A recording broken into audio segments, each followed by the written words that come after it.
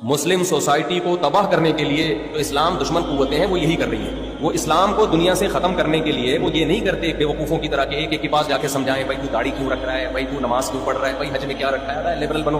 ना ना ना ना। उन्होंने कहा, दो काम कर दो एक बेहयाई फैला दो, बस। बल्कि दूसरा भी ऑटोमेटिकली हो जाएगा। लड़कियों को घरों से निकालो खातन औरत की आज़ादी के नारे लगाओ, कुछ भी करने की ज़रूरत है ऑटोमेटिकली बीस, तीस, चालीस, पचास साल के बाद सब बेड़ा गर्क हो जाएगा।